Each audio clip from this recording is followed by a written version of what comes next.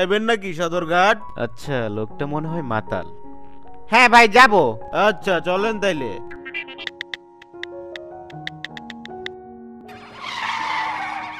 ভাই চলে এসে পড়ছি। গাড়ি থেকে নামেন। হাই হাই লোকটা কি সবকিছু বুঝা ফেলাইলো নাকি? তাহলে তো আমি শেষ। কি হইল ভাই আপনি আমারে মারলেন কেন? শালা হারাম জাদা এত জোরে কেউ গাড়ি চালায় নাকি হ্যাঁ? আমি তো অল্পের জন্য হার্ট অ্যাটাক করলাম না। ভাই গাড়িটা একটু জোরে চালান। আমার জন্য একটা মেয়ে অপেক্ষা করতেছে। আরে দূর মিয়া। মাত্র একটা মেয়ের জন্য আমি জোরে গাড়ি চালাবো কেন? এরকম শত শত মেয়ে আমার জন্য অপেক্ষা করে। আরে বেটা ভুল। মায়েরা তোর জন্য অপেক্ষা করে না। তোর গাড়িতে যাওয়ার জন্য অপেক্ষা করে। হালার পো এত স্পিডে কেউ গাড়ি চালায়? আর একটু হলে তো আমার মাইরেই ফেলাইছিলি। কেন স্যার? কি হয়েছে? দূর মিয়া এত জোরে গাড়ি চালাও যে মনে হয় গাড়ি আকাশে উঠতেছে। কি বলেন স্যার? আমি তো এক ঘণ্টা ধরে জ্যামের মধ্যে দাঁড়িয়ে আছি। ও আচ্ছা তাই তো না বলি এত জোরে গাড়ি চালানোর পরেও এখনও বাড়িতে যাইতে পারি না কেন? আচ্ছা সাহেব একটা কথা বলি। আচ্ছা বল। আপনি যে ম্যাডামের ঠোঁটে ঠোঁট দিয়ে প্রতিদিন কি যেন করেন ওইটা থেকে আপনি অনেক মজা পান। আমার মনে হয় আপনি মজাই পান। আচ্ছা কীভাবে বুঝলি? কারণ ওই কাজটা যদি পরিশ্রমের কাজই হইতো তাহলে তো ওই কাজটা আপনি আমারে দিয়ে করাইতেন। আচ্ছা ড্রাইভার তোমার কোনটা favourite day Valentine day rose day নাকি চকলেট ডে স্যার আমি আপনার কাছে দুই মাসের বেতন পামু।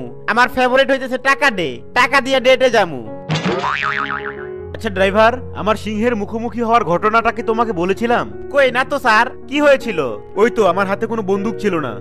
সিংহটা গর্জিয়ে গর্জিয়ে আমার দিকে এগিয়ে আসছে। হাই হাই আপনি তখন কি করলেন? বানর দেখার জন্য পাশের খাঁচায় চলে গেলাম।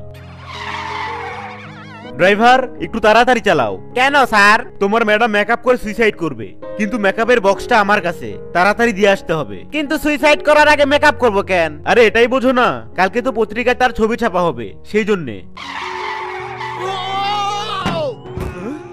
আচ্ছা ড্রাইভার এখানে কিসের শব্দ হলো? স্যার গাড়ি পাংচার হইছে। গাড়ির চাকা পাংচার হলো কীভাবে? একটা কাচের বোতল চাকার নিচে পড়ে ভেঙে গেছে স্যার। আচ্ছা গাড়ি চালানোর সময় তোমার চোখ কোন দিকে থাকে শুনি? আজ তো একটা বোতল গাড়ির চাকার নিচে পড়ল অথচ তুমি দেখতেই পারলে না। স্যার চাকার নিচে একটা লোক আইসা পড়ছিল আর ওই লোকের ব্যাগের মধ্যে এই কাচের বোতলটা ছিল যার কারণে দেখতে পারি নাই। আচ্ছা স্যার আপনি কি করেন? আমি হচ্ছি বিমানের পাইলট। ও তাই নাকি? তাইলে তো আমরা দুইজনেই ড্রাইভার। কিন্তু আমি যা করতে পারি সেটা আপনি করতে পারেন না। আচ্ছা কি রকম? আপনি কি মাঝপথে প্লেন থামিয়ে বলতে পারবেন যে ভাইয়ারা একটু নামেন ধাক্কা দিতে হইব?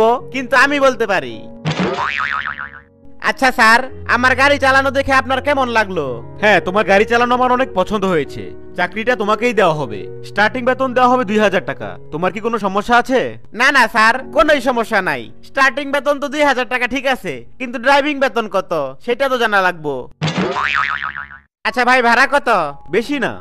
মাত্র তিরিশ টাকা। আরে কি বলেন এত টাকা কেমনে হইল?